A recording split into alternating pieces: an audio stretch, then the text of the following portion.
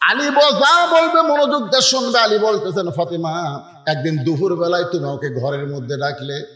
আলী বলতেছে, আমি যখন ঘরের মধ্যে গেলাম, তখন তুমি আমাকে একটা অন্না দিয়ে বললেন, স্বামী গো, হাসান হাসান ক্ষুদার জ্বালায় কানতে কানতে ঘুমায় গেছে। ঘুম থেকে চেতন পাইয়ে খাবার চাবে, কিন্তু গোটা ঘরে খাবার কিছু নাই। আমি জানি এই মুহূর্তে আপনার পকেটেও কোনো টাকা নেই। হাসান হুসেন ঘুম থেকে উঠে যখন খাবার চাবে, তখন আপনিও বেকায়দা, আমিও বেকায়দা। এই জন্য এই জিনিসটা আপনাকে দিলাম, এটা হলো আমার অন্না। এটা বাজারে বিক্রি করবেন, এর যা দাম হবে, সেই দাম দিয়া আমার হাসান হাসানের জন্য খাবার নিয়ে আসবে। আলী বলতে যে, ফাতেমা, তুমি আমাকে অন্না দেওয়ার পরে আমি তোমার অন্য পকেটের মধ্যে নিয়ে বাজারে গেলাম, পকেটের মধ্যে নিয়ে বাজারে গেলাম কারণ ফাতেমার অন্যা স্বামী নিয়ে বাজারে ঘুরতেছে, মনটা খালি বারবার বলতেছে, অন্যা বের করে যদি বিক্রি করবার চাই আর খরিদ্দার যদি বলে, আলী, এই অন্য টাকার আমি যদি বলি, আমার বইয়ের তখনই খরিদ্দার চিন্তা করবে যে পুরুষ মানুষ বইয়ের জিনিস বেচা খায়, এই পুরুষ হলো দুর্বল পুরুষ। ধরে কোন কি পুরুষ? আপনার কি বইয়ের জিনিস বেচা খান? কথা কয় না। বেচা যদি খান, আপনি কি দুর্বল। এখন জমি কিনবে, জমির দাম আশি হাজার। টাকা আছে ষাট হাজার। বিশ হাজার টাকার জন্য জমি হচ্ছে না। ওর খালি একটাই চিন্তা, আমার জমির ধারে জমি, এটা কেনাই লাগবে। কিন্তু টাকা যে ষাট হাজার আছে, বিশ হাজার নাই। দুপুরে বেলা হাত খাবার যায় থাকে ওর বইয়ের গলাত মালা। ওর নজর খালি মালার দিকে। এই মালাটা কিন্তু ওই কিনে দেয়নি, ওর শ্বশুর কিনা মেয়ে দিছে। বিয়ার সময় অনেক বাবা মেয়ে দেয় না। এখন দেয় কি দেয় না? এখন ওই মালার দিকে বারবার তাকায়। আর বলতেছে, হতে হতেই হচ্ছে না, হতে হতেই হচ্ছে। বউ ভাই কি গো, হতে হতে হয় না কি? জমির ধারের জমি গো, হতে হতেই হচ্ছে না। ষাট হাজার টাকা আছে, জমির দাম আশি হাজার বিশটা হাজার টাকা কোথায় পাই বউ বলতে, ধৈর্য ধরো, ইন্নাল্লাহ সবেরিন। ধৈর্যশীলদের সঙ্গে আল্লাহ আছে। এ বছর হবি না সামনে বছর হবি? স্বামী বলতে, তোর বাপের জমি, তোর বাপে আমার জন্য এক বছর থুবি। বউ বলতেছে তাহলে আমার উপর খেপেন কেন? বলে, খেপার কারণ হলো তুই একটু দয়া করলি। একটু দয়া করলি আমার জায়গাটা হয়। বউ কে আমি কি দয়া করলাম দেখ, বিয়ার সময় তোর বাপ ওই মালা দিছে। এখন বলতো, ওই মালার সাইজ আছে। এখন যে সুন্দর সুন্দর সোনার মালা নামছে রে, ওই পুরাতন মালা গলার দিয়ে ঘুরিস, তোর সরম নেই। ওই মালাটা খালি আমাকে দে, ওটা বেচা বিশ হাজার টাকা হবে, জমিটা কেনা হবে। আল্লাহর শপথ করে বলছে যে ভাত খাতে খাতে আগামী বছর এক ডবল সোনার মালা। তোকে যদি আমি না দেই হ্যাঁ মুসলমানের বাচ্চাই দেই এমন কথা বলছে। এখানে বউ গলার মালা খুলে স্বামী দিয়েছে, দাও। ডবল দিবে কিন্তু, আল্লাহর শপথ। ওই মালা বেচা লিছে মেয়েরা কিন্তু সব জায়গায় হিসাব না করলেও কত জায়গায় কিন্তু হিসাব ঠিক আছে তোর কারণ ঠিক কিনা হ্যাঁ? এক বছর পরে বল, স্বামী গো, গত বছর মালা বিক্রি করে জমি নিলেন, এক বছর হয়ে গেল, আমার ডবল দেওয়া লাগবে না ওই রকম মালাই দেন স্বামী বলতে তুমি আমার কাছে আসো আসো আসো আসো আসো। যে বউ কাছে আসছে, তুমি মালা কার জন্য করবে কত তুমি তো গলাত মালা দিবা, কে দেখবি? বজরুশি তো ওয়াজ করছে, মেয়েরা কেবলমাত্র এক ব্যক্তির জন্য সাজতে পারবে, সেই ব্যক্তি হলো তার স্বামী। স্বামী ছাড়া অন্য কারোর জন্য সাজাই যায় নাই। এখন তুমি বলো, তুমি তো গলাত মালা দিয়ে ঘুরবে ওটা কে দেখবে? তোমার স্বামী তো দেখবে। কিন্তু মালা ছাড়া যদি তোমার ভালো লাগে, তো মালার কি দরকার আছে রে? বউ মনে মনে কে আচ্ছা সিটার রে। এরকম কোন সিটার মার্কা স্বামী আছে না? ধরে করে আছে না বইয়ের জিনিস বেচা খায়। হজরত আলী চিন্তায় পড়ে গেলেন। অন্যটা বের করে যদি বিক্রি করতে চাই, আর খরিদ্দার যদি জিজ্ঞাসা করে, কার অন্যা আমি যদি বলি, আমার বইয়ের অন্যা তাহলে খরিদ্দার মনে মনে চিন্তা করবে, আলী দুর্বল পুরুষ, বইয়ের জিনিস বেচা খায়। আলী বলেন, ফাতেমা রে গোটা বাজার ঘুরতেছি। তোমার অন্য বের করে বেচার সাহস পাই না। এমন সময় এক খরিদ্দার আমাকে সালাম দে বলে, আলী ভাই, আপনি মনে হয় কিছু বিক্রি করবেন। আমাকে যখন বলতেছে, আপনি মনে হয় কিছু বিক্রি করবেন। আমি আলী চমকে গেলাম। আমি বিক্রি করব। কোন জিনিস এইটা এই খরিদ্দার কেমনি করে জানে? আমি তাকায় দেখি, খরিদ্দার একটা ব্যাগ বের করে ওইটা ফাঁক করে ধরে আছে। আমি পকেট থেকে অন্য বের করে যখন ব্যাগের মধ্যে দিলাম, ওই খরিদ্দার একটা বারও ব্যাগের দিকে তাকাইলো না। আমার ছয়টা দেড়হাম দিয়ে খরিদ্দার কোথায় যেন চলে গেল? আলী বলতেছেন, ফাতেমা, আমি ছয়টা দেড়হাম পাই এক দৌড়ে খাবার দোকানে গেলাম। দোকানদারকে বললাম, ভাই যে আমার হাসান হাসান ক্ষুদার ঝালায় কাঁদতেছে কানতে কানতে ঘুমিয়ে গেছে। ঘুম থেকে উঠলেই খাবার চাবে। এই ছয়টা দেড়হামের যে খাবার হবে, তাড়াতাড়ি আমাকে খাবার টোপলা করে দাও। আলী বলে ফাতেমারে দোকানদার খুব তাড়াতাড়ি করে ছয় দেড়হামের খাবার যখন টোপলা করে আমার হাতে দিবার চায়, আমি ছয়টা দেড়হাম দিব টোপলা খানা নিব।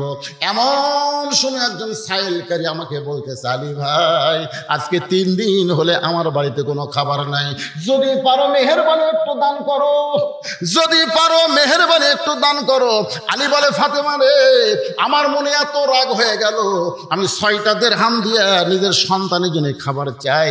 এমন সময় যদি কোনো সাইলকারী ফকির আমার কাছে ভিক্ষা চায়, তাহলে বলো তো আমার মনে কেমন রাগ হবে? আমি আলী রাগটা করে যখন ফকিরের দিকে তাকাইছি, এমন সময় আল্লাহর কোরআন বলতেছে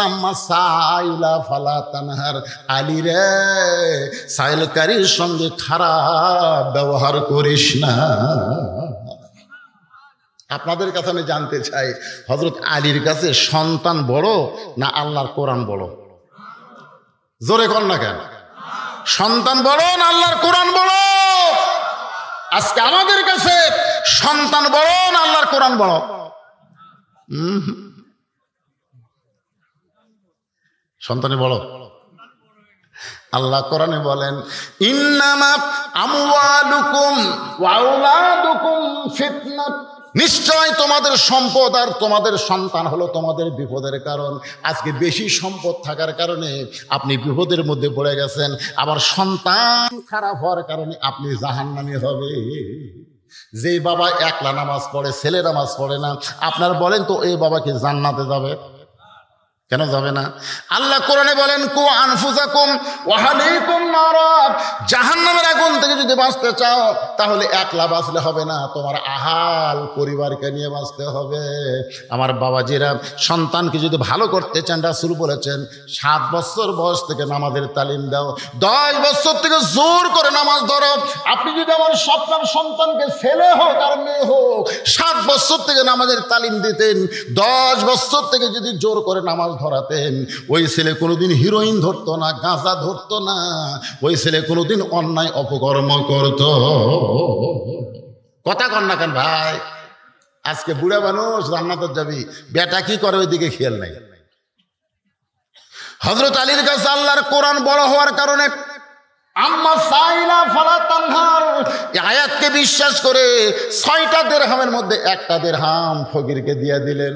সোনাল্লাহ খান মনে মনে চিন্তা করে, ছয়টা দেড়হামের, একটা দেড়হাম দিলাম, এখনও কয় দেড়হাম? পাঁচটা দেড়হামের খাবার নিয়ে বাড়িতে যাব, যা খাবার হবে, ওইটা হাসান হাসানের চলবে। এই মনে করে একটা দেড়হাম দিয়ে পাঁচটা দেড়হাম যখন কাছে রাখছে, এমন সময় আল্লাহর কোরআন বলতেছে, আল্লাহর কোরআন বলতেছেন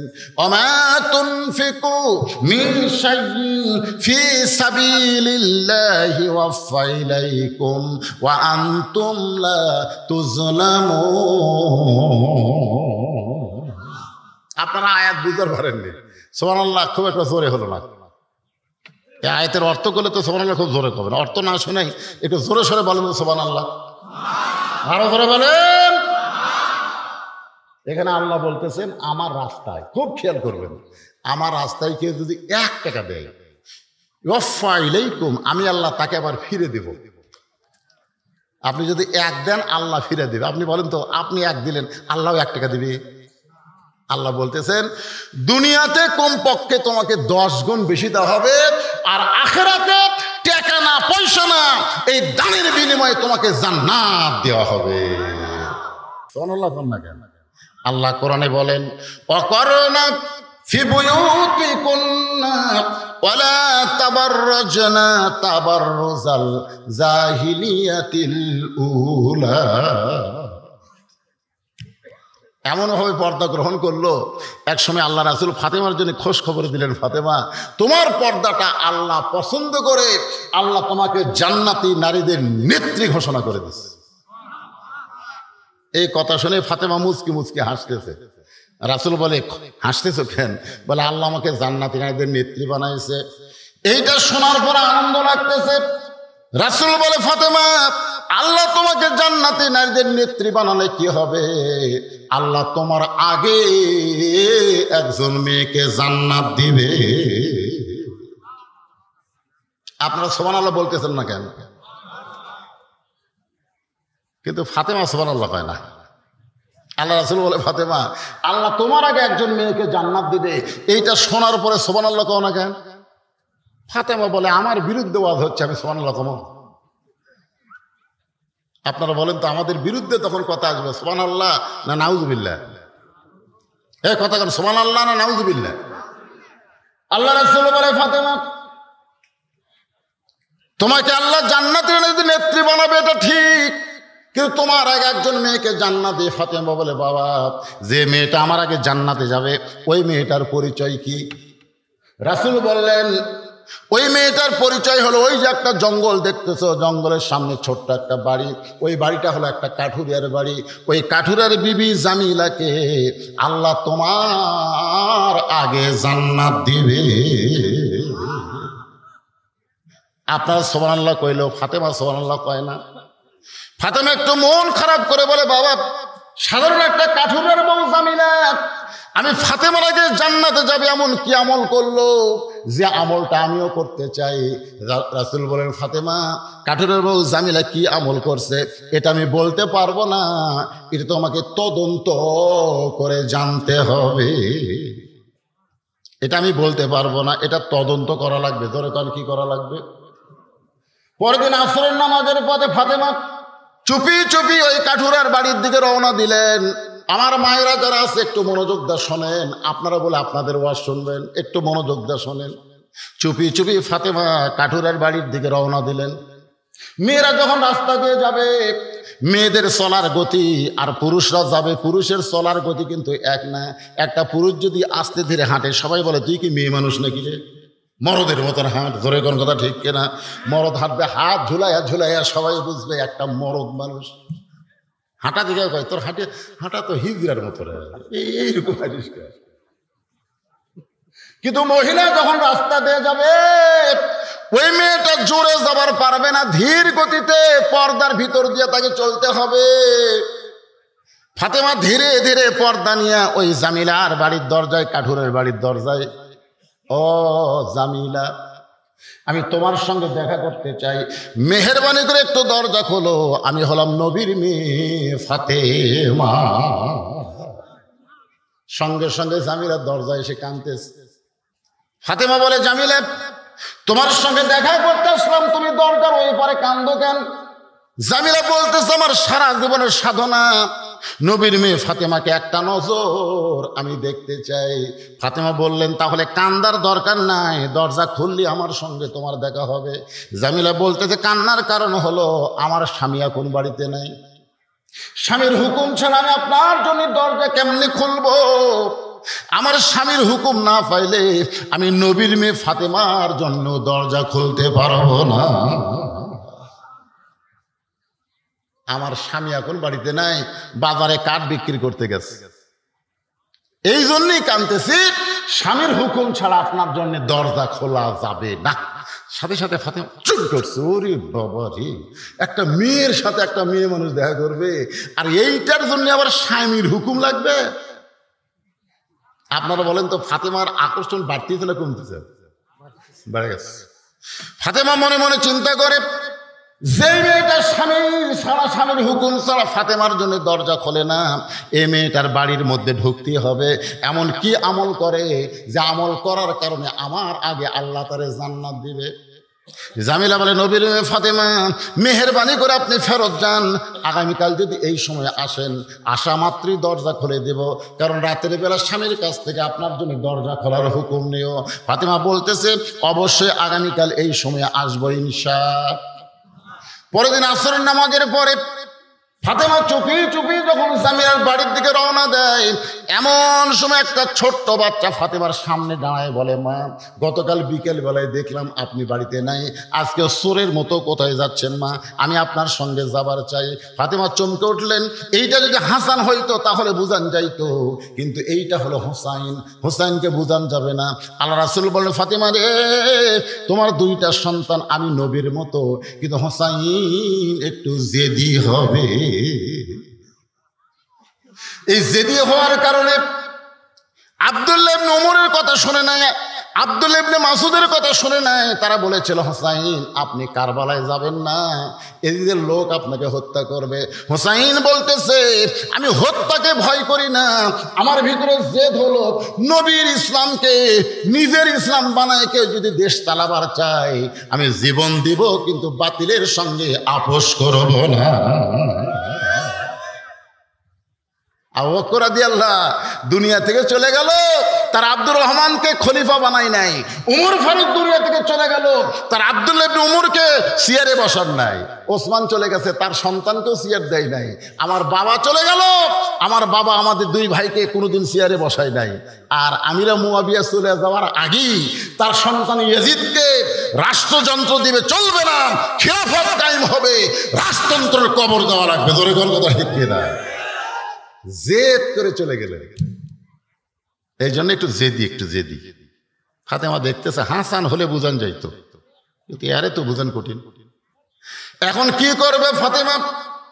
ছোট্ট হোসেনকে সঙ্গে করে ওই জামিলার বাড়ির দরজায় হোসেন বলতেছেন, মা একটা ভাঙ্গা বাড়ির দরজা আপনি গতকাল আইছিলেন, আজকে আইছেন। এই বাড়িতে এমন কি আছে মা? যে আপনি এখানে আসেন, আমার বিশ্বাস দুনিয়ার সব মানুষ আমার মায়ের কাছে যাবে, আমার মা কারোর কাছে যাবে না। সোনাল্লা কন না কেন? এটা সন্তানের মায়ের প্রতি ভালোবাসা কম না বেশি? এ, কথা কন, কম না বেশি? নিজের মায়ের প্রতি যদি ভালোবাসা থাকে, আমার বউ মায়ের কাছে যাবে, কিন্তু আমার মা বইয়ের কাছে আসবে না। আজকে অনেক বইয়ের কাছে শাশুড়ি ঘুরতেছে, এরপরেও বউ কথা বলতেছে না।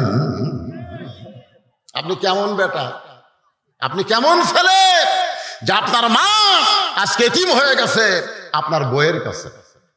অনাথ হয়ে গেছে, একটু মনোযোগ দেবেন।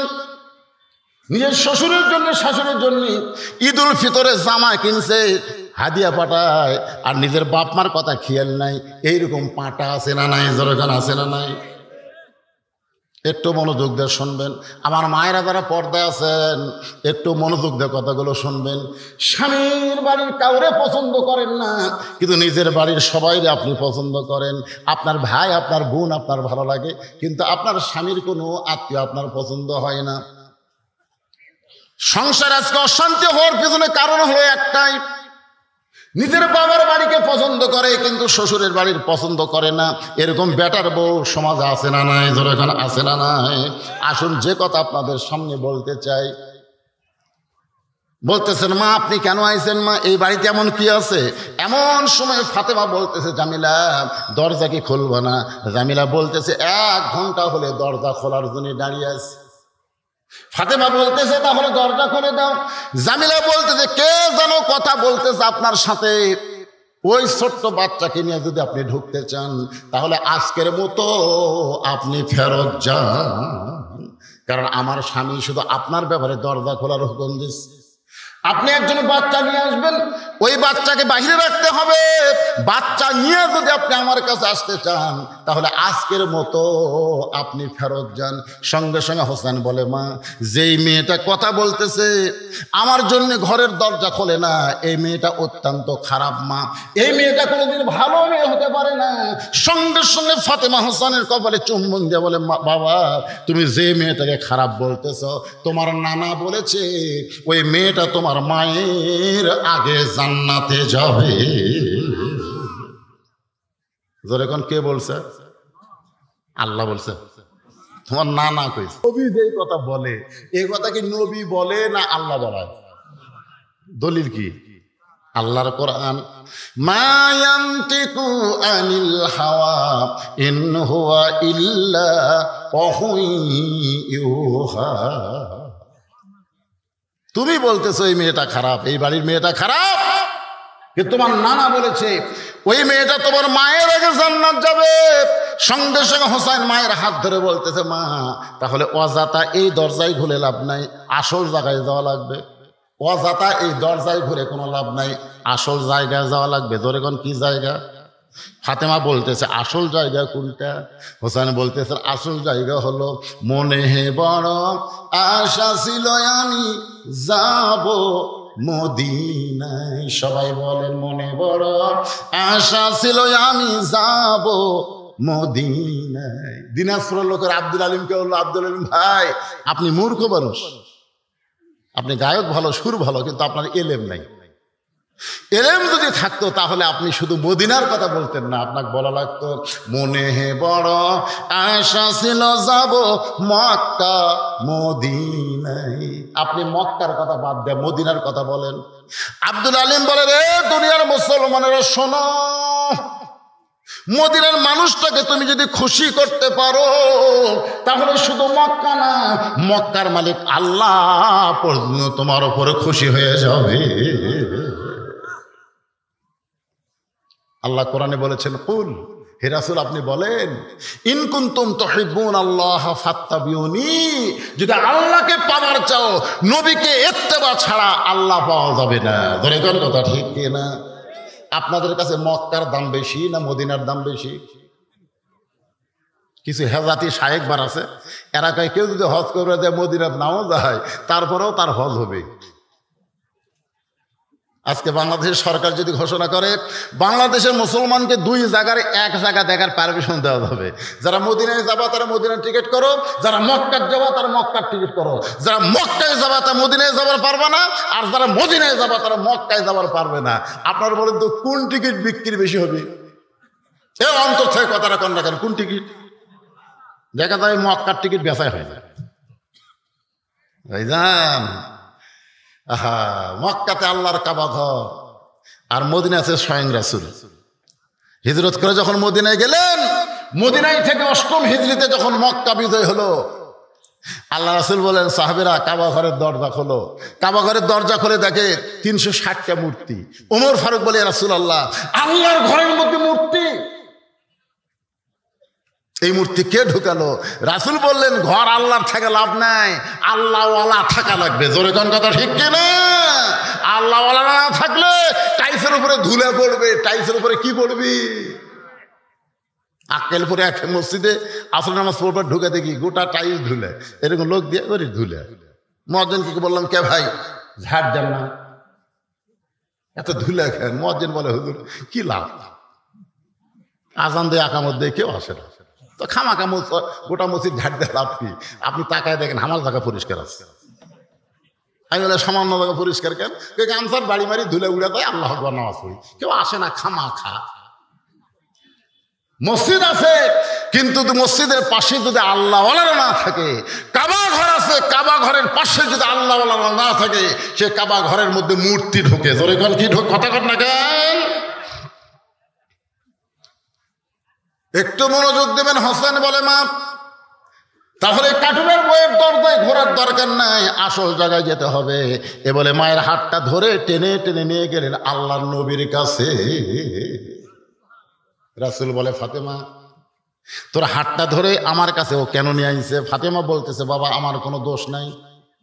বাবা, আমার কোনো দোষ নাই। আমি একদিন গেছি, স্বামীর হুকুম ছাড়া দরজা খোলে নাই। আমি দুই দিন গেছি, হোসেন সঙ্গে থাকার কারণে দরজা খোলে নাই। দরকার হোসেনকে বাদ দিয়ে আমি আবার যাব। কিন্তু এই হোসাইন এই হোসেন আসল জায়গার কথা বলে তোমার কাছে আমার টেনে নিয়ে আসলো বাবা।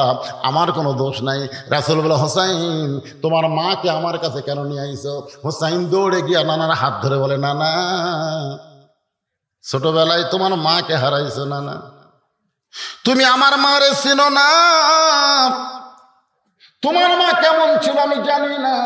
তবে আমার মাকে তুমি চিনো না, যদি চিন্তা না না, তাহলে একটা কাঠুরার বইয়ের দরজায় আমার মাকে তুমি কোনোদিন পাঠাতা না। সরাল্লা কন আপনারা বলেন তো হোসেন মাকে আল্লাহ নবী সিরিকে চিনে না?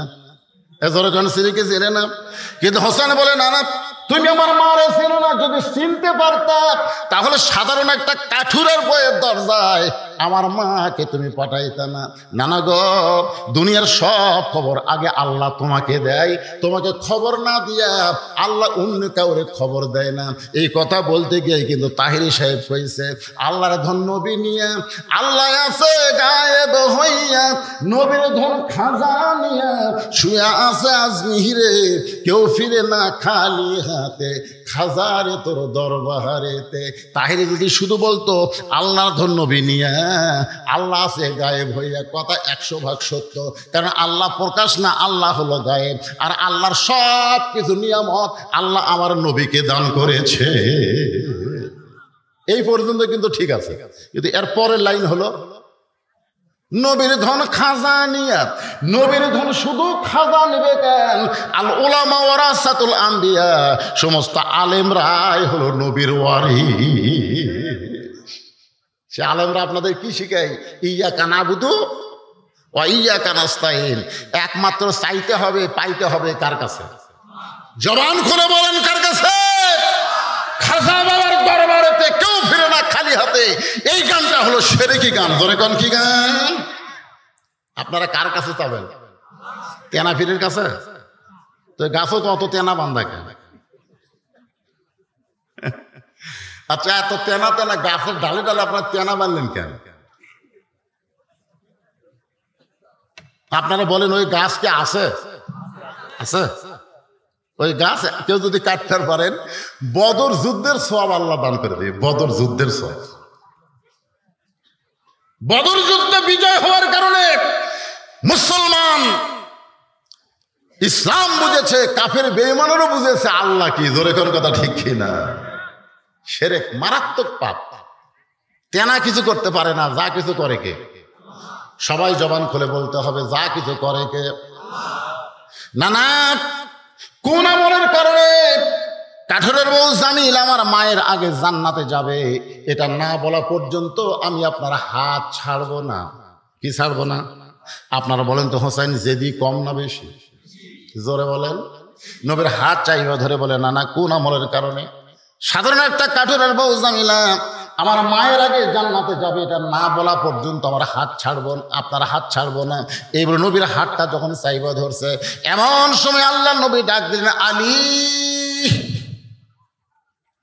আলী রে। সঙ্গে সঙ্গে হজরত আলী বলে লব্বাই কারাসুল আল্লাহ নবী বলতেছেন লব্বাই কে আল্লাহ নবী বলতেছেন, চুপ, এই সময় আমি নবী না, আমি হলাম তোমার শ্বশুর, তুমি হলো আমার জামাই, এইটা হলো আমার নাতি হোসাইন, আর ওইটা হলো আমার মেয়ে। সব সময় নবী হওয়া যায় না, মাঝে মধ্যে বাবা হওয়া লাগে, নানা হওয়া লাগে, শ্বশুর হওয়া লাগে, সব সময় নবী হওয়া যায় না, ধরে কোন ঠিক কি না? আমাদের নবী যদি সবসময় নবী হতেন, তাহলে আমাদের আদর্শ হবার পারত না। আমাদের নবী কি সবসময় নবী? জেহাদের ময়দানে কি? সেনাপতি। জেহাদের ময়দানে কি?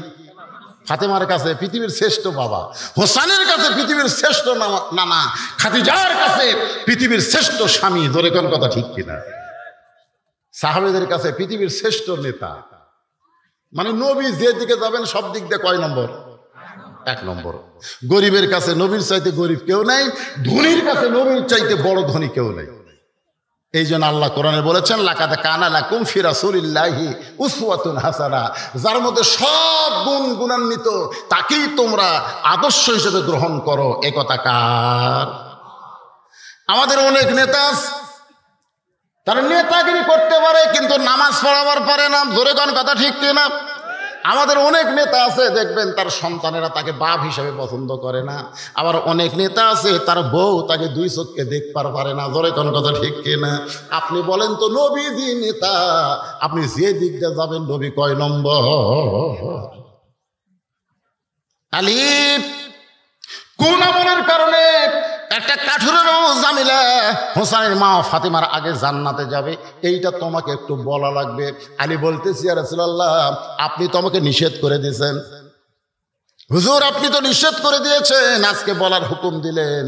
আলী বলতে, তোর বেটা যেভাবে আমার হাত ধরছে আজকে হুকুম না দিলে তো আমার রক্ষা নাই। জোরে কোন সোহান আল্লাহ সঙ্গে সঙ্গে আলী বলতেছ, ও ফতেমা, কোন আমলের কারণে একটা কাঠের জামিলা তোমার আগে জান্নাতে যাবে?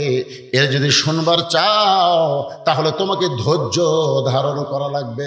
কারণ মেয়েদের চরিত্র হলো, এক মেয়ের কাছে আর এক মেয়ের সৌন্দর্য আর এক মেয়ের সৌন্দর্য আর এক মেয়ের ভালো বলা যায়। বিশ্বাস যদি না করেন, তাহলে আপনার বইয়ের সামনে একদিন হুরের কথা বলে দেখবেন। করছেন কোনোদিন? আপনি যে জান্নাতে হুর পাবেন, এই গল্প কোনোদিন বইয়ের কাছে করছেন? কথা কয় না রে, করছেন কোনোদিন? আপনার বউ কত ভালো, একদিন গল্প করে দেখবেন। আমি শুধু বলছিলাম, আল্লাহ যদি আমাকে জান্নাত দেয়, জান্নাতে যে হুর হবে, সে হুরের নাকের সাইজ এরকম। চোখের সাইজ বলতি, আমার বউ দেখি বালুস বগলের মধ্যে নিয়ে ঘর থেকে বার হয়ে যাচ্ছে। আমি বললাম, কোথায় যাও? বল, হুর নিয়ে থাকো, আমার কি দরকার? আমি সেই দিন বুঝেছি, ভাই, নিজের বইয়ের কাছে হুরের গল্প করারও কোনো সুযোগ? কথা কন না কেন? আপনার বইয়ের কাছে, আপনার বইয়ের গুণের তারিফ করে দেখবে রাগ করবে নিজের বউ অন্য কোনো মেয়ের তারিফ, অন্য কোনো মেয়ের প্রশংসা শুনতে চায়? যার কারণে হজরত আলী বললেন, ফাতেমা কোন আমলের কারণে কাঠুরার বউ জামিলা তোমার আগে জান্নাতে যাবে? এটা জানতে গেলে তোমাকে ধৈর্য ধারণ করা লাগবে। ফাতেমা বলতেছে, আমার কোনো আপত্তি নাই। আমি শুনতে চাই কোন আমলের কারণে একটা কাঠুরের বউ ফাতেমার আগে জান্নাতে যাবে? আল্লাহ রাসুল বললেন, ফাতেমা, তাহলে শোনো। তোমার কি মনে আছে একটু মনোযোগ দাও? আলী যা বলবে মনোযোগ দিয়ে শুনবে। আলী বলতেছেন, ফাতেমা, একদিন দুপুর বেলায় তুমি ওকে ঘরের মধ্যে ডাকলে আলী বলতেছে, আমি যখন ঘরের মধ্যে গেলাম, তখন তুমি আমাকে একটা অন্না দিয়ে বললেন, স্বামী গো, হাসান হাসান ক্ষুদার জ্বালায় কানতে কানতে ঘুমায় গেছে। ঘুম থেকে চেতন পাইয়ে খাবার চাবে, কিন্তু গোটা ঘরে খাবার কিছু নাই। আমি জানি এই মুহূর্তে আপনার পকেটেও কোনো টাকা নেই। হাসান হুসেন ঘুম থেকে উঠে যখন খাবার চাবে, তখন আপনিও বেকায়দা, আমিও বেকায়দা। এই জন্য এই জিনিসটা আপনাকে দিলাম, এটা হলো আমার অন্না এটা বাজারে বিক্রি করবেন, এর যা দাম হবে, সেই দাম দিয়া আমার হাসান হাসানের জন্য খাবার নিয়ে আসবে।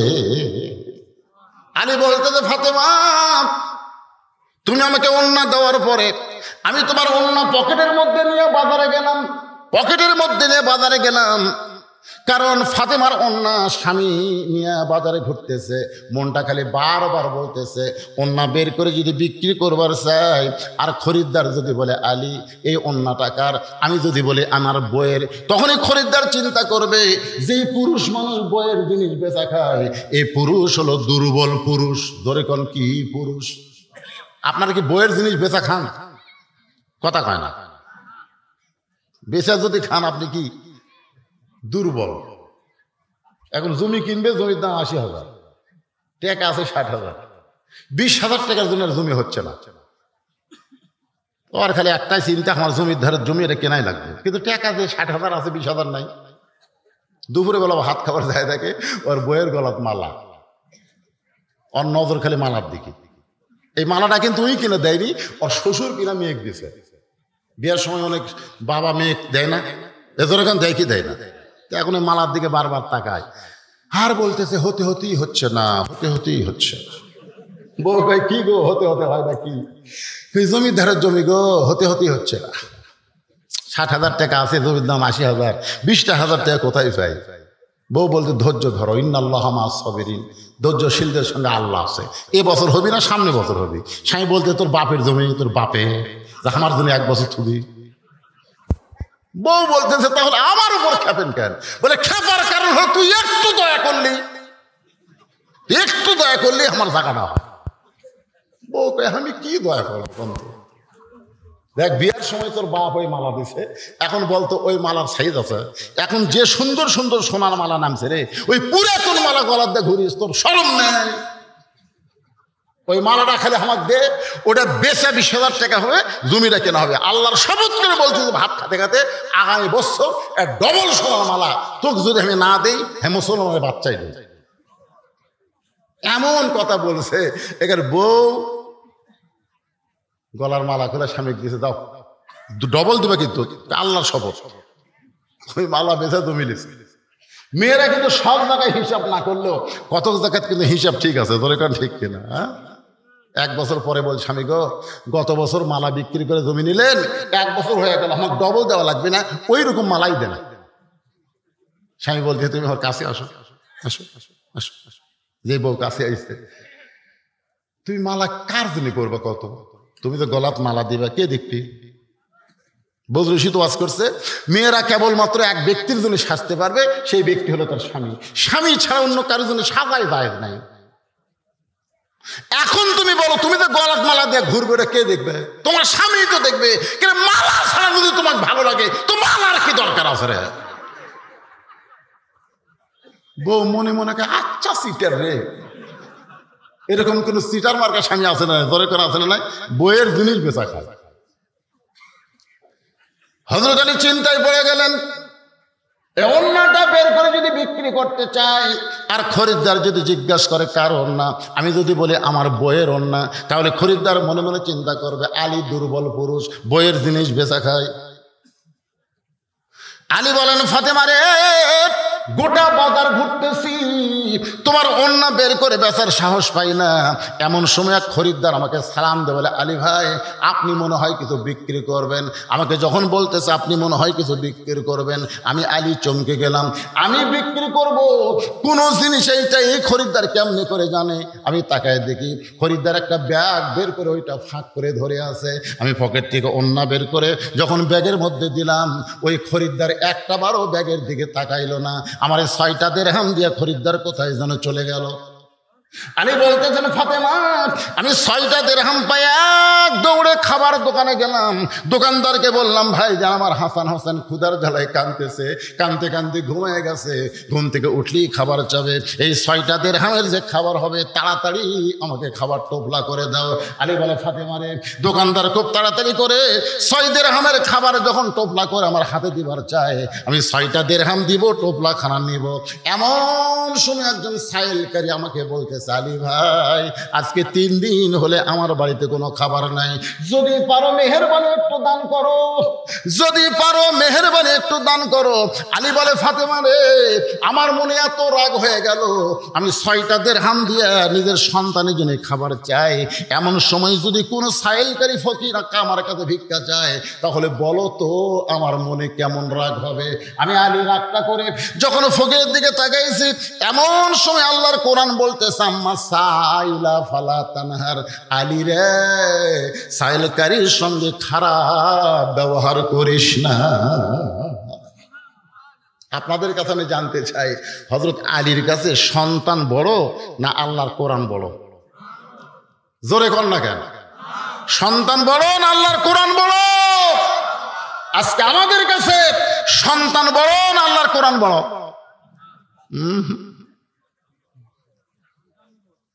সন্তানে বড় আল্লাহ কোরআনে বলেন, ইন্নামা আমওয়ালুকুম ওয়াউলাদুকুম ফিতনাত নিশ্চয় তোমাদের সম্পদ আর তোমাদের সন্তান হলো তোমাদের বিপদের কারণ। আজকে বেশি সম্পদ থাকার কারণে আপনি বিপদের মধ্যে পড়ে গেছেন। আবার সন্তান খারাপ হওয়ার কারণে আপনি জাহান্নামি হবে। যে বাবা একলা নামাজ পড়ে, ছেলে নামাজ পড়ে না, আপনার বলেন তো এই বাবাকে জান্নাতে যাবে? কেন যাবে না? আল্লাহ কোরআনে বলেন কু আনফুজাকুম ওয়াহালিকুম নারাত জাহান্নামের আগুন থেকে যদি বাঁচতে চাও, তাহলে একলা বাঁচলে হবে না। তোমার আহাল পরিবারকে নিয়ে বাঁচতে হবে। আমার বাবাজিরা সন্তানকে যদি ভালো করতে চান, রাসুল বলেছেন, সাত বছর বয়স থেকে নামাজের তালিম দাও।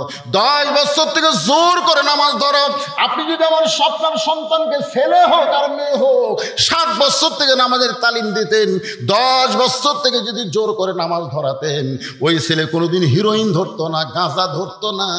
ওই ছেলে কোনোদিন অন্যায় অপকর্ম করত। কথা কর না কেন ভাই? আজকে বুড়া মানুষ রান্নাতে যাবি। বেটা কি করে ওই দিকে খেয়াল নাই? হজরত আলীর কাছে আল্লাহর কোরআন বড় হওয়ার কারণে আম্মা আয়াতকে বিশ্বাস করে ছয়টা দেড়হামের মধ্যে একটা দেড়হাম ফকিরকে দিয়ে দিলেন। সোনাল্লাহ মনে মনে চিন্তা করে, ছয়টা দেড়হামের, একটা দেড়হাম দিলাম, এখনও কয় দেড়হাম? পাঁচটা দেড়হামের খাবার নিয়ে বাড়িতে যাব, যা খাবার হবে, ওইটা হাসান হোসেনের চলবে। এই মনে করে একটা দেড়হাম দিয়ে পাঁচটা দেড়হাম যখন কাছে রাখছে, এমন সময় আল্লাহর কোরআন বলতেছে, আল্লাহর কোরআন বলতেছেন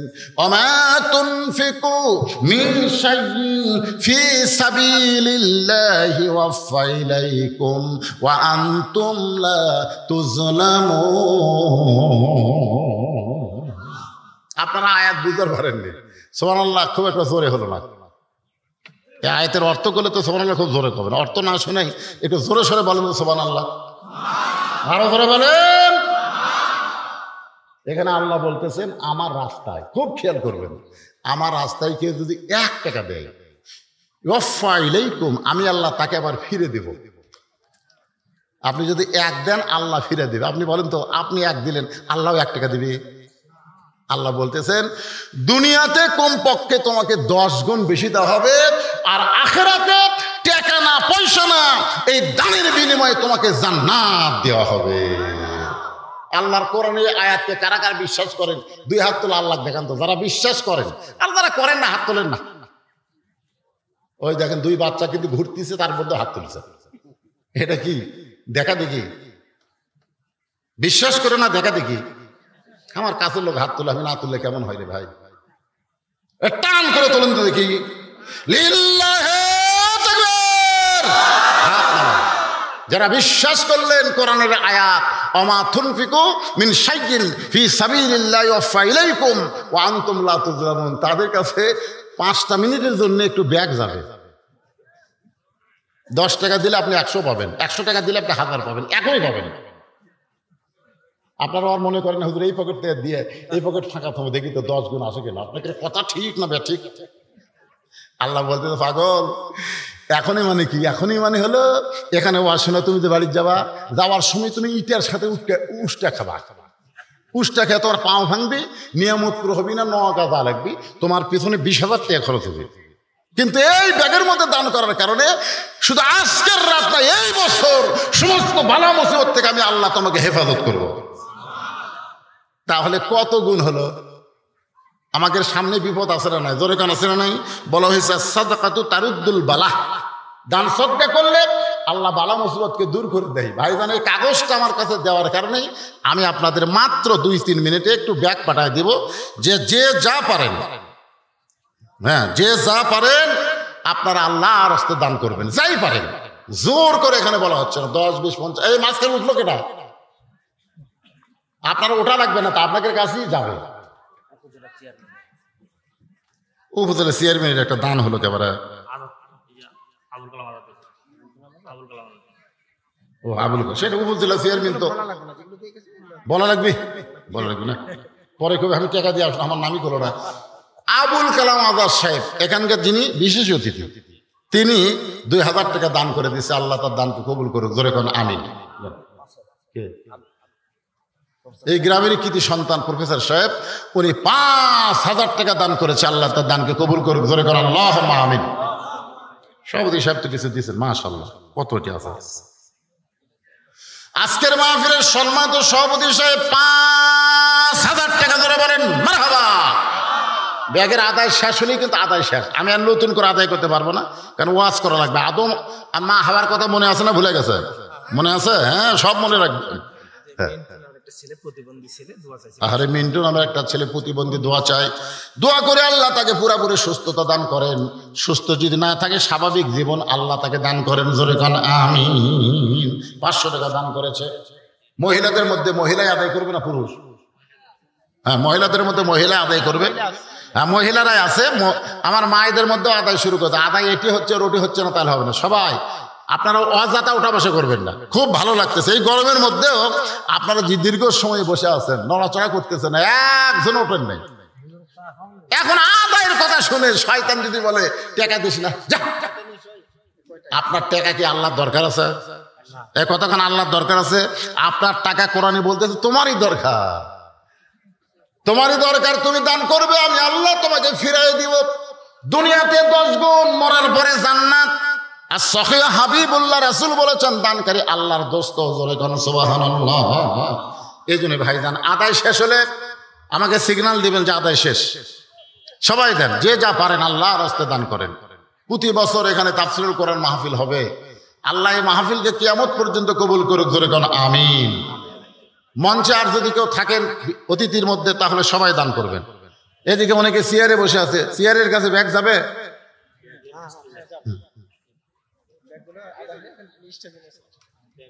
হ্যাঁ স্টেজে আসবেন। ব্যাগ নিয়ে অন্য সাইডে যাওয়া চলবে না বাদান সব স্টেজে চলে আসবেন। একটু জিকির করেন। লা ইলাহা ইল্লাল্লাহ। জোরে সুরে, লা ইলাহা। কে রে কলেমার জিকির করতে কি? অলসতা লাগতেছে, মহাব্বতে। লা ইলাহা ইল্লাল্লাহ। লা ইলাহা। লা ইলাহা ইল্লাল্লাহ। মুহাম্মাদুর রাসূলুল্লাহ। আল্লাহর কোরআন বলতে চালি রে, তুমি আল্লাহ রাস্তায় যা দান করবে, আল্লাহ তোমাকে কয় গুণ দিবে? জোরে কোন, কয় গুণ? তুমি সাইলকারীকে একটা টাকা দিলে আল্লাহ তোমাকে দশ টাকা দিবে। দুইটা টাকা দিলে আল্লাহ তোমাকে বিশ টাকা দেবে। ছয়টা দের হান যদি দান করো, দুনিয়াতেই আল্লাহ তোমাকে দশ গুণ ষাট টাকা দিয়ে দিবে। আপনারা বলেন তো হজরত আলীর কাছে কোরআনের দাম আছে না নাই? আছে না নাই? আল্লাহর কোরআনকে বিশ্বাস করে ফকিরকে ছয়টা দেড়হাম যখন দান করে দিলেন, ফকির হাসতে হাসতে যখন বিদায় নেয়, এমন সময় দোকানদার বলতে চালি ভাই, তোমার হাসান হাসান না খেয়ে কানতেছে ঘুমিয়ে গেছে, ঘুম থেকে উঠে খাবার চাবে, আমি খাবার টোপলা করে দিলাম, টোপলা না নিয়ে ফকিরকে সব টাকা দান করে দিলে, তাহলে তোমার হাসান হাসানের খবর কি? জাহাঙ্গীর সচিব এক হাজার টাকা দান করছে, আল্লাহ তার দানকে কবুল করেন। এগুলো বলা যাবে না। এখন যাই দান করবেন করবেন। এখন আলোচনা দিয়ে খেয়াল করেন, কঠিন গরমের মধ্যে আল্লাহর বান্দারা বসে আছে ধৈর্য নিয়ে। একটু মহব্বত করে শুনবেন, ফকির খুশি হয়ে যখন চলে গেছে, এমন সময় দোকানদার কি বলতেছে? তাহলে হাসান হোসেনের খবর কি? হ্যাঁ?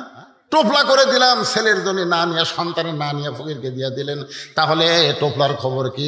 আলী বলতেছে, এক টোপলা দিয়ে কাম হবে না, তুমি দুই বস্তা খাবার প্যাকেট করো। সোনাল্লাহ খান আপনারা বলেন তো হজরত আলী যে বলতেছে, সামান্য টোপলা দিয়ে হবে না, দুই বস্তা খাবার প্যাকেট করো। আলী কোথায় টাকা পাবে? আল্লাহর প্রতি অগাধ বিশ্বাস। আল্লাহর কোরআন অনুযায়ী আল্লাহ তাকে দশ গুণ দিবে। এখন কীভাবে দিবে? এইটা চিন্তা করার দরকার আমাকে ওর আমাকে আছে? নাই। এবার দেখেন তামের কাছে যে হারে মুকুল ধরছিল। মুকুল বোঝেন তামের কাছে মুকুল বোঝেন না? এখন আর আম আছে? কি রে?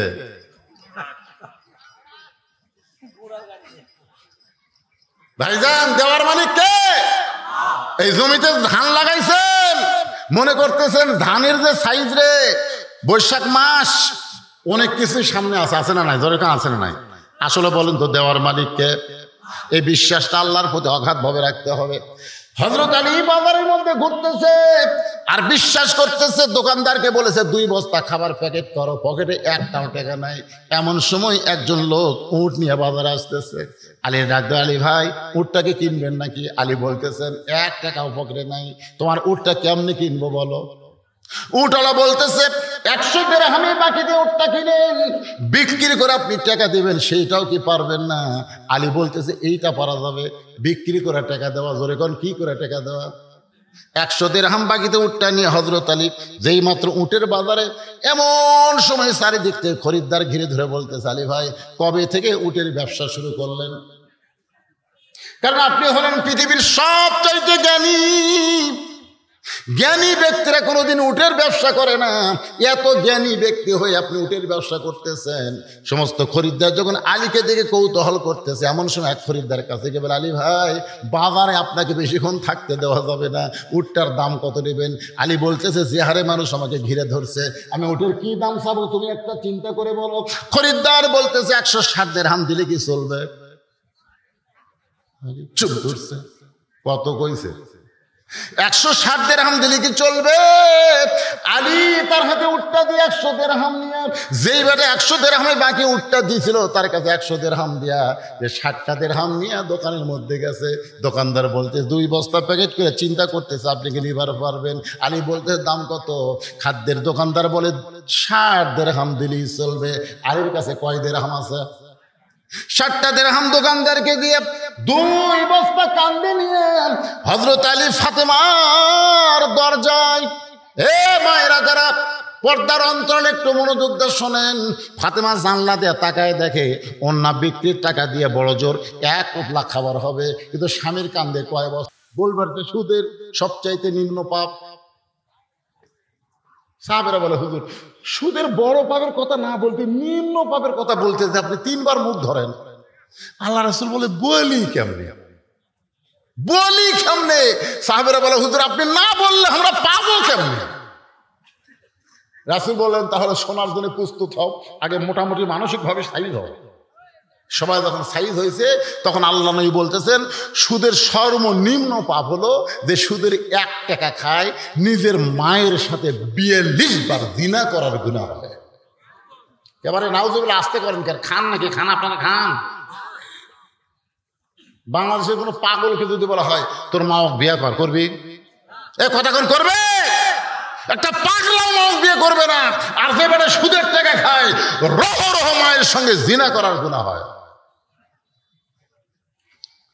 আর সুদের সবচাইতে বড় পাপ হলো আল্লাহর সঙ্গে যুদ্ধ করা। নমরুদ যেমন আল্লাহর সঙ্গে যুদ্ধ করেছিল, পারছে নাকি? এই কথাক্ষণ পারছে নাকি? ফেরাউন যখন আল্লাহর সঙ্গে যুদ্ধ করেছিল, আজকে যারা বাংলাদেশের সমাজে সুদ খায়, এরা যতই তৌবা করুক রাসুল বলেছেন, সব তৌবা কবুল হবে। মানুষ খুন করা তৌবা করলে আল্লাহ মাফ করে দিবে। জিনা করলে তৌবা যদি করে, আল্লাহ মাফ করে দিবে। নামাজ পড়ে নাই বেয়া নামাজে তৌবা করে নামাজ ধরলে আল্লাহ মাফ করে দিবে। কিন্তু একটা পাপ তৌবা করলেও আল্লাহ মাফ করবে না। এটা পাপটা হলো যারা সুদ খায়, যারা সুদ দেয় তারা তৌবা করলে আল্লাহ মাফ করবে, কিন্তু যারা খায় তাদের তৌবা করলেও আল্লাহ মাফ করবে না। যাদের কাছ থেকে সুদের টাকা নিয়েছে, যতক্ষণ তাদেরকে ফেরত না দিবে। আপনারা কি রাগ করলেন? তো কিছুই না পারে যারা সুদের টাকা খাসে, যার কাছ থেকে নিছে, তাকে ফেরত না দেওয়া পর্যন্ত আল্লাহ মাফ করবে তৌবা করলেও একটু মনোযোগ দেন ফাতে বলে, স্বামী গো অন্য বিক্রির টাকা দিয়ে বড় জোরে এক টোপলা খাবার হবে। আপনি দুই বস্তা খাবার কোথায় পাইলেন? যতক্ষণ না বলবেন, ততক্ষণ আমি দরজা খুলব। আলী বলতে তো ফাতেমা, আরামের সাথে বলব, অনেক লম্বা কথা। একটু দরজা খোলো, আমি একটু ঢুকতে চাই। ফাতেমা বলতেছে, না, বলা পর্যন্ত দরজা খুলবো না। সঙ্গে সঙ্গে আল্লাহর কোরআন বলে, আলী রে, তুই স্বামী হয়ে তোর বউকে বলতেছিস। এর বউ যখন তোর দরজা খোলে না, তুই কি জানিস না আলী আল্লাহ কোরআনে বলেছেন আর রেজালো কাউয়া মুনা আলান্নেসা, পুরুষেরা নারীদের উপরে থাকবে। ফাতেমা যদি দরজা না খোলে, আর অনুরোধ করিস না। দুই বস্তা খাবার কান্দে নিয়ে ফাতেমা দরজা না খোলার কারণে হজরত আলী চলে গেছে নবীর দরবারে। নবী তখন বসেছিলেন, কিন্তু আলীর কান্দে দুই বস্তা খাবার দেখে নবী খুশি হয়ে আলীর কাছে এসে দুই বস্তা নিজের হাতে যখন নামায় নেয়, আল্লাহর বান্দা আলী বলতেছে রাসুলাল্লাহ, আপনি কত ভালো, কিন্তু আপনার মেয়ে ভালো না? নবী চমকে বলতে কি কইলি? আলী বলতে হুজুর আপনি কত ভালো? আমার কান্দে বস্তা দেখে আপনি কোনো প্রশ্ন না করে বস্তা নামাই নিলেন। কিন্তু এই দুই বস্তা নিয়ে আপনার মেয়ে ঘরের দরজা খোলে নাই।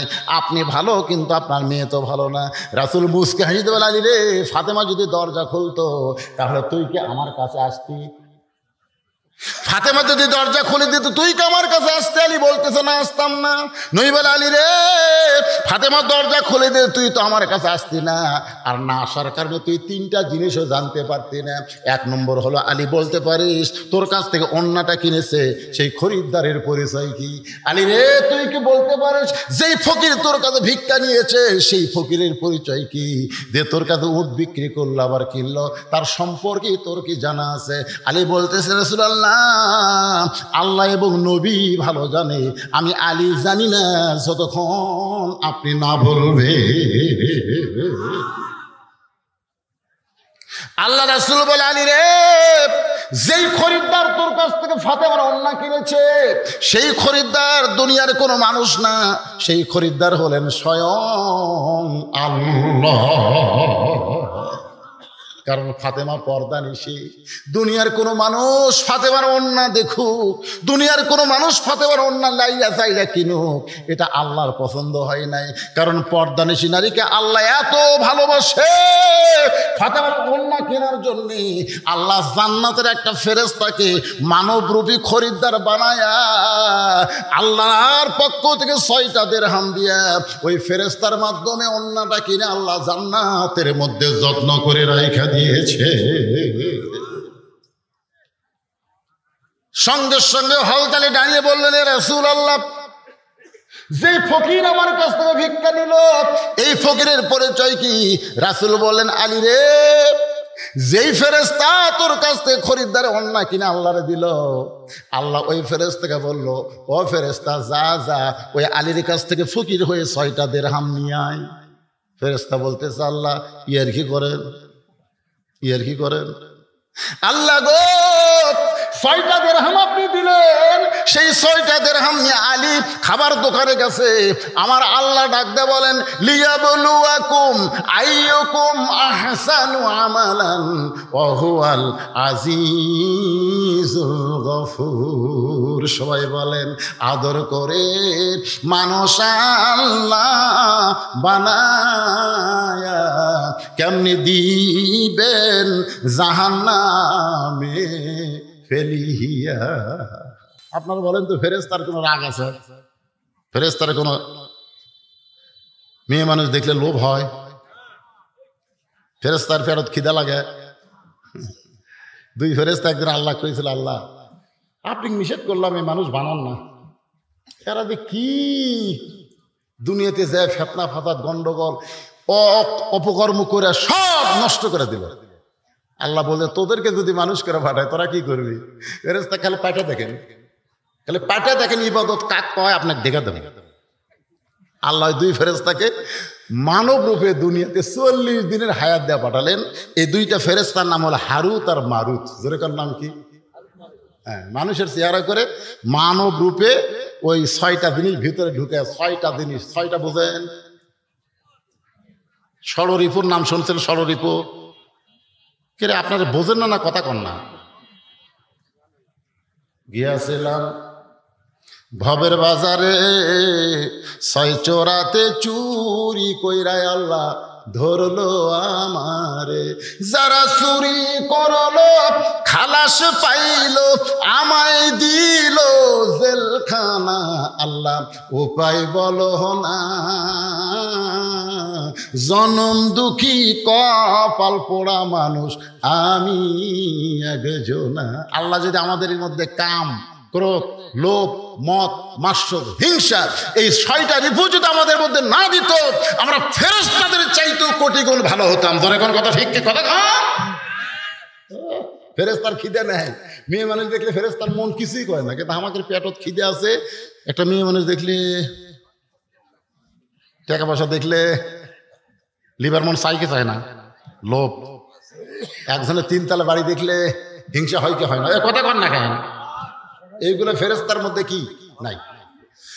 ফেরেস্তাদের মধ্যে না থাকার কারণে আল্লাহ তালা দুইটা ফেরেস্তাকে মানুষ বানায়, দুনিয়াতে পাঠাইলেন চল্লিশ দিনের। জোরে বলেন, কয় দিনের? চল্লিশ দিনের মধ্যে পেটে খিদা লাগছে। পেটে তখন খিদা লাগছে, এ হারুত মারুত এখন মানবরূপী হয়ে যায় খিদার জন্য কাম চায়, খিদার জন্য কি চায়? কাজ চায় কাজ একজনকে বলতে, ভাই, আমরা দুইজন একটু কাজ চাই আমাদের পেরত তো খিদে লাগছে। কাজের বিনিময়ে খাদ্য। তখন বলতেছে, তোর তো আমি চিনি না রে। তোদেরকে তো আমি চিনি না, কাজ দিয়ে চুরি করিস। এখন আপনারা বলেন, দুই দিন ঘুরিছে, কেউ কাজ দেয়নি। তখন ওরা দুই ধন ঘুরতে ঘুরতে দেখে একটা হোটেল, খাবার হোটেল। লুকা লুকা যায়, ওই খাদ্য যেটা আসতে যেই খাবার নিয়ে খাচ্ছে, ইতিমধ্যে হোটেলের মালিকের বউ দেখছে। হোটেলের যে মালিক, তার বউ দেখছে। হে হাত করে দিবি। ওই হোটেলের মালিক আবার হিজরা, বুঝলেন? বেশিরভাগ হোটেলের দেখবেন হিজরা আছে না নাই, ধরে আছে না বিয়ে করছে ঠিকই, কিন্তু বইয়ের মনের খাইশ মিটাবার পারে না। তো বউ বলতেছে, ঠিক আছে, তোর খালি- তোরা যে চোর, এটা আমি বলব না। তোরা আমার একটা কাম কর, ওই খাটের তলে দেয় লুকা থাক, যা। ভারত মারত ওই দুধের খাটের তলে লুকে আছে। স্বামী দোকানের জিনিস কিনবার বাজারে গেছে, গঞ্জে গেছে। গভীর রাত্রে বলছে, বার হ। এখন আমার সাথে কাম কর। ওই সাথে গুজে ওর সাথে খারাপ আছে, ওরা দুই ভাই পাড়াবাড়ি লেগে ওর সাথে জিনা, ব্যবচারে যা করা দরকার। করিছে, চুরি করে খাসে, আবার জিনাও করে জিনা করার পরে ওরকম বার করে দিচ্ছে তখন যাচ্ছেন বলতেছে কি কাম করল রে? চুরিও করনো আবার জিনাও করনো হায় হায়, চল্লিশ দিনের হায়াত আল্লাহ দিছে, কটা হলো? ইতিমধ্যে দেখে গাছতলার জনগণ কি যেন খাচ্ছে? আর বলে, আমি বাদশাহ, আমি রাজা, আমি বাদশাহ, আমি রাজা। ওরা চিন্তা করতে আমরা যে চুরি করছি, জিনা করছি, এটা ভুলে থাকার জন্য এটা খাওয়া দরকার। অনেকে গাঁদা টাদা খাইতে খায় না, ধরে অতীত ভোলার জন্য নিশা করে। ওই দুই ফেরস্তা ওই যে চুরি করছে, জিনা করছে, এটা বলার জন্য একটা ঢক ঢক করে খাসে ভাই। খাওয়ার পরে দেখে মদ আর নাই। তখন আরও আল্লাহ রে! দিব কোথায় এ দে। মানে লিসা তো চোর, ঠিক আছে? যাই মদ বেচা খাবার মেরে পিটাই মারিছে, বুঝলেন? তখন মরা সারা, তখন আল্লাহ ডাক দেয়, বলে, কে রে? চল্লিশ দিনের হায়াতে দুনিয়াতে গেলি, ইবাদত কারে কয় আমারে দেখাই দিবি? কি করলি? আমার বান্দারা সারা জীবনে জর্দে পাপ করে না, তোরা কয় দিনই না তার সাথে বেশি করলি? তখন তুই ফেরেস্তা কান্দের বলে, আল্লাহ, দুনিয়া যে এমন একটা জায়গা এই জায়গায় আসলে আল্লাহ আছে, এটা মুমি থাকে না। দেখছেন? হারুদ মারুদ বলতেছে, দুনিয়া এমন একটা জায়গা, এখানে আসলে আল্লাহ যে আছে, এটা মনেই থাকে না। এরপরেও যে মানুষ দুনিয়াতে সে অন্যায় অপকর্ম না করে আল্লাহ আছে, বিশ্বাস করে দৈনিক পাঁচ বারো যারা মসজিদে যায়, এরা ফেস তাদের চাইতেও কোটি কোটি গুণ সম্মানী। ধরে কোন কথা ঠিক কিনা? লাকাদ খালাকনাল ইনসানা ফি আল্লাহ আকবার। একটু মনোযোগ দা শোনেন। আল্লাহ নবী ডাকতে বলে, আলী রে। ওই ফেরেস্তাকে আল্লাহ বললেন, যা ফকির হয়ে আলীর কাছে, আমি আল্লাহ আজকে পরীক্ষা করব। আলীর কাছে সন্তানের দাম বেশি। আমার কোরআনের দাম বেশি। আলী রে, ওই পরীক্ষায় তুমি বিজয় লাভ করলে, নিজের সন্তানের দিকে না তাকায় ফেরেস্তা ফকির মনে করে তাকে ছয়টা দেড়হাম দান করলে। ওই ফেরেস্তা ছয়টা দেড়হাম আল্লাহকে দিয়ে তখন কান্দে। আল্লাহ বলে, কান্দিস না রে, ছয়টা দেড়হামের সাত দেড়হাম আলীর ফেরত দেওয়া লাগবে। কারণ আলীর অন্তরঘাত বিশ্বাস দোকানদারকে বলেছে, দুই বস্তা খাবার প্যাকেট কর, যে আমি আল্লাহকে সম্মান করে, আমি আল্লাহ, ইন্না আকারামাকুম ইন্দাল্লাহি আত্মাকুম তার সম্মান বাড়ায়া দে। যা উটের পিঠে চড়ে যে উটের পিঠে চড়ে ফাতেমা জান্নাতে যাবে, সেই উটটা বিক্রি কর, একশো দেড়হামের বাকিতে, কারণ আলীর কাছে তো একটা টাকাও নাই। একশো দেড়হামের বাকিতে উটটা যখন নিচে ওই ফেরেস্তাকে আল্লাহ খরিদ্দার বানায় বলতে, যা, একশো ষাট দেড়হামে উটটা কিন, একশো দেড়হাম ফেরত নিয়ে ষাটটা দেড়হাম আলী পাইছে। আল্লাহ নবী ডাকতে বলে, আলী রে, ফাতেমা যদি দরজা খুলতো, এই খবর তোকে কে জানাইতো? ফাতেমা বলতেছে, ওই কাঠুরের বউ জামিল আমার আগে জান্নাতে কেমনে যাবে? সেই কথা না বলে এত লম্বা ওয়াজ করলেন। আমি জানতে চাই, ওই কাঠুরের বউ জামিল আমার আগে জান্নাতে কেমনে যাবে? ওইটা না বলে আপনি কি দানের ওয়াজ শুরু করলেন? আলী বলে, ফাতেমা, তোমাকে ধৈর্য ধারণ করা লাগবে, ধরে কোন সোহানা ফাতেমা রে তুমি যে অন্যা বিক্রি করছ, ওই অন্যটা আল্লাহ কিনে জান্নাতের মধ্যে রাখার কারণ হলো তুমি পর্দানিসি তোমাকে আল্লাহ এত ভালোবাসে, যার কারণে আল্লাহ নবী তোমাকে দুনিয়াতে চাহিদা তুন্নিসাই আহলের জান্না জান্নাতি নারীদের নেত্রী ঘোষণা করেছে। এখন জান্নাতের নারীদের নেত্রী। জান্নাতে যাবে, এইটা আল্লাহ খালি পায়ে যাওয়া পছন্দ করে না। উঠের পিঠে করে আল্লাহ তোমাকে জান্নাত নিবে। ধরে কেন সোহান ও ফাতেমা, আল্লাহ তোমাকে উঠের পিঠে যখন উঠাই দেবে উঠটা আপন গতিতে জান্নাতের দিকে হাঁটতে থাকবে। কিন্তু ওই যে জান্নাতের দরজা দেখা যায়, হঠাৎ উঠটার পায়ে কে যেন ব্রেক করে দিল। উঠটার সামনের দিকে যায় না। ফেরেস্তা বলে, আল্লাহ উঠটা ব্রেক হয়ে গেল। উঠটা যার সামনে যায় না, এখন করব কি? আল্লাহ বলে উঠটা যদি আপন গতিতে না যায়, তাহলে উঠটারে টেনে টেনে জান্নাতে নিয়ে যাওয়া লাগবে। ফেরেস্তা বলে, আল্লাহ উঠটার কি ধরে টানবে? উটের গলায় তো কোনো রশি নাই। উটটা কি ধরে টানবে? উটের টানার মতন তো কিছুই নাই। আল্লাহ বলে ফেরেস্তা রে, আমি ফাতেবার অন্যটা কিনে জান্নাতের ভিতরে যত্ন করে রেখে দিয়েছি। ওই অন্যার এক মুড়া উটের গলায় বেঁধে দাও। ফেরেস্তারা অন্যটা এনে উটের গলায় যখন বেঁধে দিবে, অন্যার একটা অংশ যখন নিজের দিকে ঝুলতে থাকবে ফেরেস্তা বলে, আল্লাহ, এখন উটটারে কে টেনে টেনে জান্নাতে নিয়ে যাবে?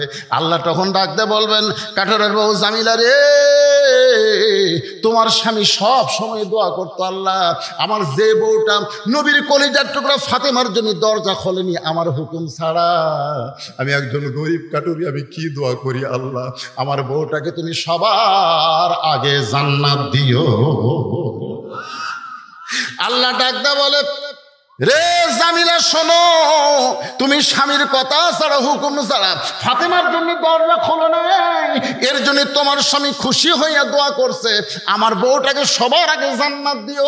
আমি আল্লাহ ফাতেমাকে জান্নাতি রায়দের নেত্রী বানাইছি। তার আগে কে জান্নাতে যাবে? কিন্তু তোমার স্বামীর দোয়া কবুল হওয়ার কারণে আমি আল্লাহ হুকুম দিলাম, যাও অন্যটা টেনে টেনে আমার ফাতেমাকে জান্নাতে নিয়ে যাও। আলী বলে, ফাতেমা, তুমি তো মনে করবে আমি জান্নাতে যাচ্ছি, কিন্তু আল্লাহর হেকমত হলো ওই কাঠের জামিলে এসে যখন অন্যা, রশ্মি মনে করে টেনে টেনে যখন জান্নাত নিয়ে যাবে, উটের পিঠ থেকে তোমার পা জান্নাতে পড়ার আগে, ওই কাঠের বউ জামিলার পা জান্নাতে আগে যাবে। সঙ্গে সঙ্গে ফাতেমা কান্দের বলে, আল্লাহ, যে মেয়েরা পর্দার ভিতরে থাকবে, যে মেয়েরা স্বামীর কথা মতো চলবে, ওই মেয়েদেরকে ফাতেমা জামিলার সঙ্গে জান্নাত দিও। আমার মা বোনদের জন্য বলি মা, যতই আমল করেন, স্বামীর কথা মতো যদি চলতে পারেন, আর যদি পর্দার মধ্যে থাকতে পারেন, তাহলে ফাতেমা জামিলার সঙ্গে আল্লাহ আপনাদের জান্নাত দিবে। আপনারা বলেন এর চাইতে মেয়ে মানুষের ভালো কোনো ওয়াজ আছে? এ কথা কর না কেন আছে? এখন মায়েরা একটু দোষ দেয়। আমাকে বলে, হুজুর, আপনি প্রায় ওয়াজে খালি মেয়ে করে খাসিতে ওয়াজ করেন। মরদ মানুষের কোনো ওয়াজ নাই। আমি কিন্তু পরশু কয়েকদিন আগে বাহাদুর উপরে ওয়াজ করছি। আল্লাহ রাসুল সামনে মা আয়সা দুইটা তরকারি নিয়ে গেছে। আল্লাহ রাসুলের সুন্নত হলো আগে তরকারি নিয়ে তিনি চাকতেন। কারণ তিনি বাড়ির অভিভাবক। সোমান আল্লাহ নাকি সবাই মনে করতো বাড়ির প্রধান তো নিজে আগে খাচ্ছে, কিন্তু খাওয়ার মধ্যে কারণ আছে। হেকমত হলো, নবী তো দুটো তরকারি থাকে থাকে একটা তরকারি লবণও নাই, ঝালও নাই। আল্লাহ রসুল দেখতেছে, এই তরকারি খাই তো সবাই আয়সার দুর্নাম করবে। তো আমার বইয়ের দুর্নাম মানে আমারই দুর্নাম।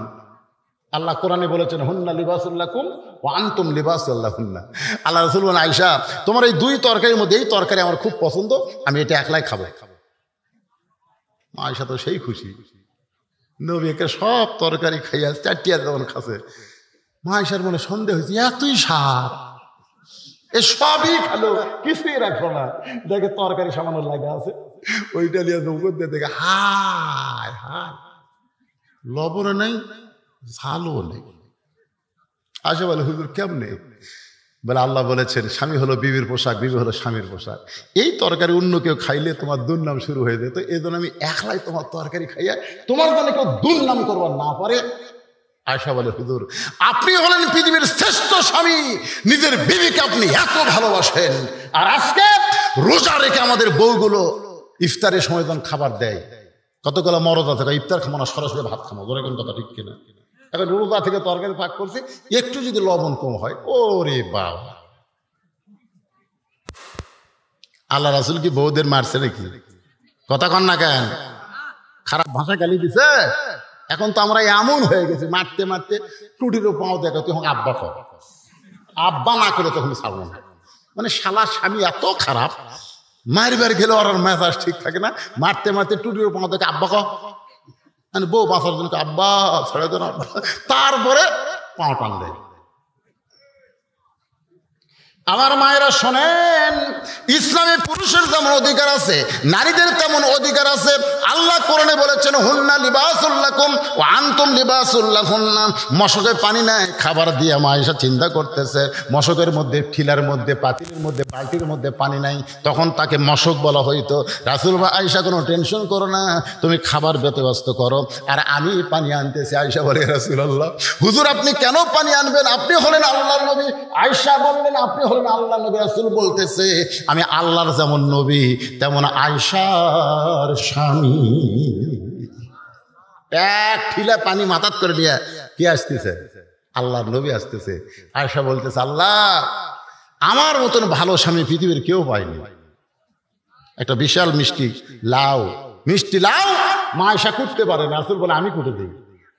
মা আয়সা যে গিলাসে পানি পান করতেন, আল্লাহ রাসুল ওই গিলাসে পানি পান করতেন, কোন জায়গায় আয়সার মুখ লাগিয়েছে, ওই জায়গায় রাসুল মুখ দিতেন, জোরে কোন সোহান আল্লাহ এত স্বামী স্ত্রীর মধ্যে মহব্বত ছিল। আল্লাহ রাসুল বিবিদের চা কখনো খাইনি আর আমরা যখন নিয়ামতপুর বাজারে যাই, খালি হোটেল দেখলি ভাই। বউ আজ প্রায় এক মাস হলে বলছে, আমার একটু বাদাম খাওয়ার মন চাই গো, একটু বাদাম আনবেন। এই বাড়িতে এসে রে, মনে খুঁজলাম, কিন্তু বাদামালা নাই। আসলে কিন্তু আইসে আর মনে নেই। বউ কয়, না ই আনবি না।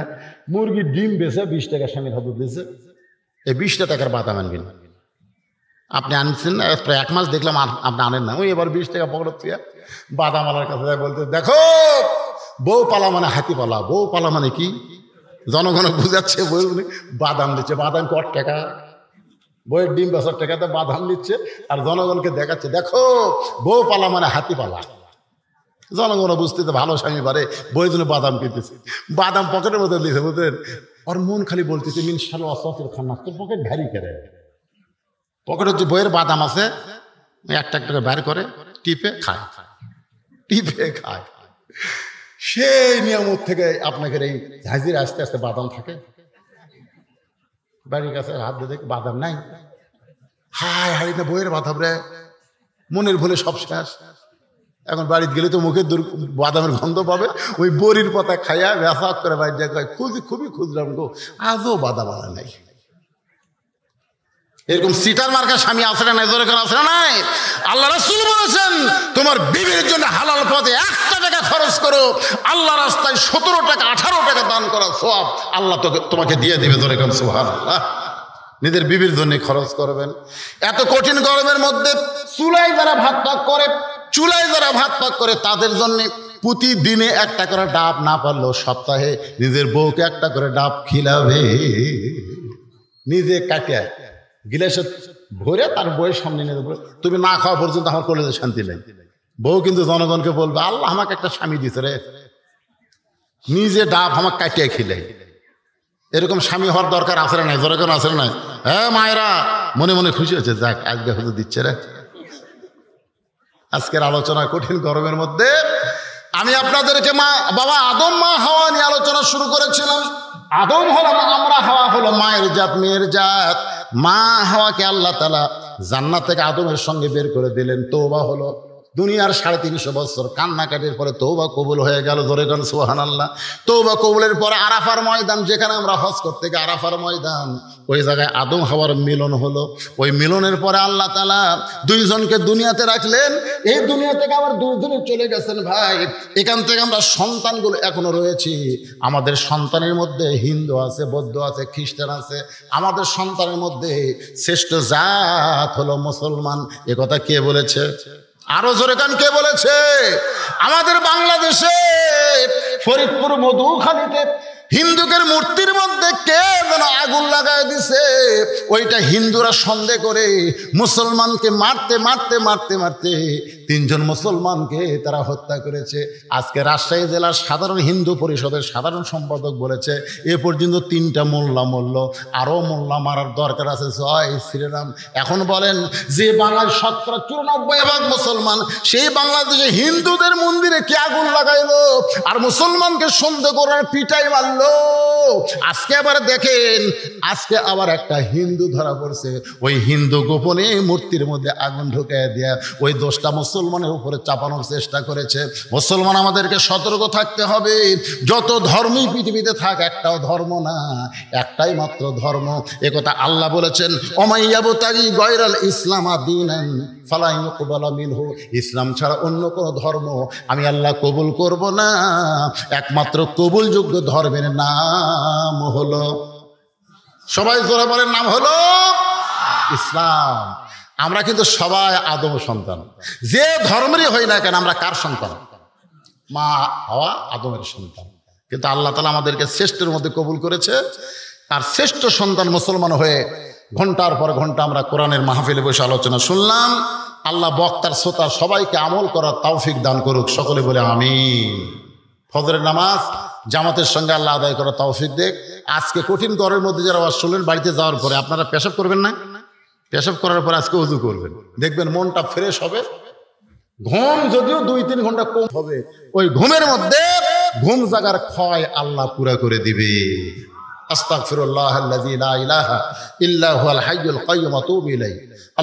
সাল্লি আলা ভাইজান যারা দাঁড়িয়ে আছেন, সবাই বসেন। সবার জন্য দোয়া করা হবে, কষ্ট করে যারা এই মাহফিল আয়োজন করেছেন, তাদের জন্য দোয়া করা হবে ইনশাআল্লাহ। আল্লাহুম্মা আমিন। আনতাস মিনকাস সালাম।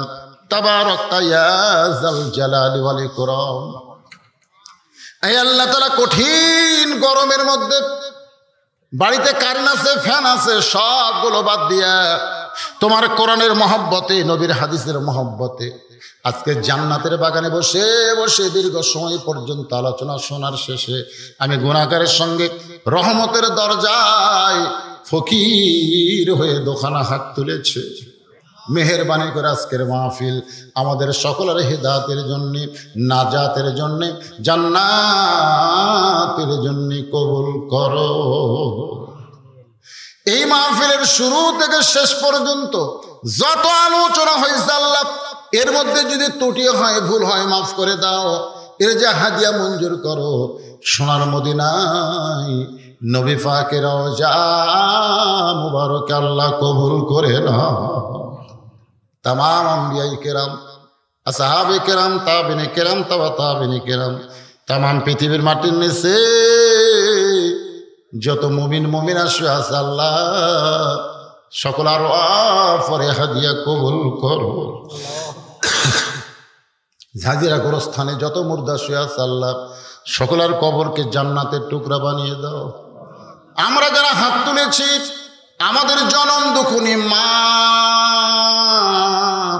ছোট্ট একটা শব্দ হলো, মা, দুই হাজার তেইশ সালের পঁচিশে ডিসেম্বর পর্যন্ত আমি জানতাম না মা না থাকলে এই দুনিয়াতে সন্তানের কেউ না আঠারো সালে আমার বাবা দুনিয়া থেকে চলে গেছে। তখনও বারবার মায়ের কাছে গিয়ে বলতাম, মা, বাবা না থাকলেও তো আপনি আস কিন্তু তেইশ সালে ডিসেম্বরের পঁচিশ তারিখে মা যখন চলে গেল, গোটা দুনিয়াতে বহু মানুষ আছে, কিন্তু যার মা নাই, বাবা নাই, তার কেউ নাই। এই দরদের মা বাবা যাদের কবরে গেছে, আল্লাহ, তোমার দরবারস করি। মা বাবার কবরকে তুমি জান্নাত বানায় কি বলব প্রসবের কথা? মাবিনে সেই ব্যথা কেউ তো বুঝবে না। বহুদিন বউকে বলেছিলাম ওয়াজ করে বাড়ি আসব তুমি চেতন থেকে। কোনোদিন দেখলাম না, আমার যাবার অপেক্ষায় আমার বউটা চেতন আছে। আমার মা যে ঘরে ঘুমাইতো ওই ঘরে পাঁচ দিয়ে যখন হেঁটে যায়, আমার জুতার শব্দে মা বলে, বাজান, আমি ঘুমাই নাই।